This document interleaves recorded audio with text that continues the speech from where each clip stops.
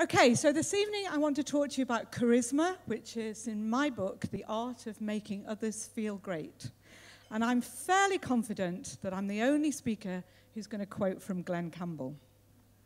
So, charisma, it comes from the word, a Greek word meaning gift or grace. And you'll be pleased to know that charisma is only 50% nature. So, 50% of us are not born with charisma, but we can develop it. What do we mean by charisma? It's about being authentic, about being honest and trustworthy, speaking from the heart. It's also it's also about being generous with our time, inspiring and uplifting others, people that we come into contact with, that we can utterly inspire and give our spirits to. There is a myth that in order to be charismatic, one has to be an extrovert, but actually, introverts make very good charismatic people too, because uh, we can be quietly charismatic as well as loudly charismatic.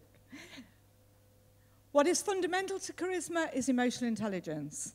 Emotional intelligence is fundamentally about self awareness, about being aware of the way that we behave and about the emotions and how they affect ourselves and others. And he who knows others is wise, but he who knows himself is enlightened.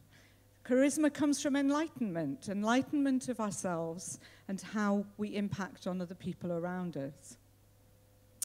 Charismatic people have, there are three fundamentals to charisma one is presence, one is warmth, and one is power and influence.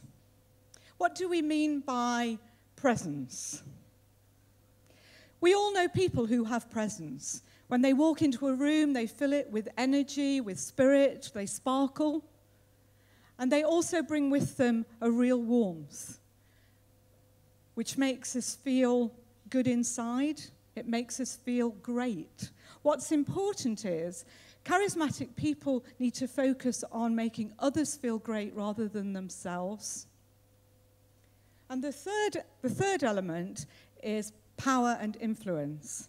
What's really important here is the use of power and influence, that we influence for the good of others and that we use our power appropriately and not in order to make ourselves look great.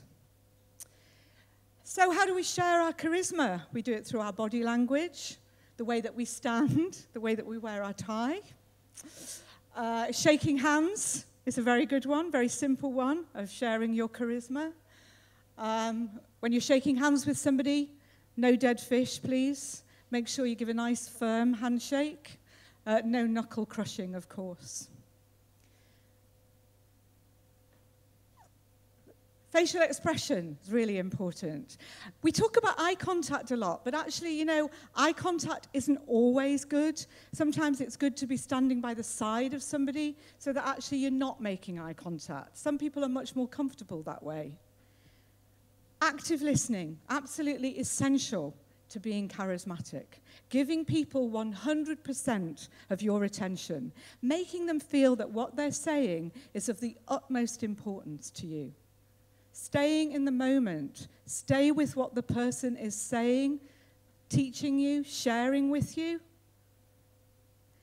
You know, you can read on somebody's face if really all they're waiting for is you to stop talking so they can say what they want to say. So give your full attention. It's a gift that few of us have on a continual basis.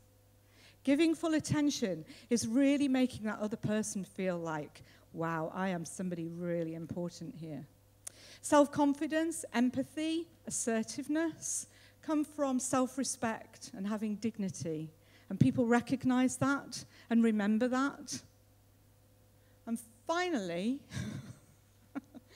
I want to leave you with uh, the name of a woman I've mentioned to somebody this evening already, Brené Brown. If you haven't come across her, Google her. There are two TED Talks. She spent 10 years researching vulnerability and shame, and I would highly recommend you have a look. Because vulnerability is a key word as part of being charismatic. So that was your quick guide to charisma. I'm Jackie O'Carroll. Thank you for listening.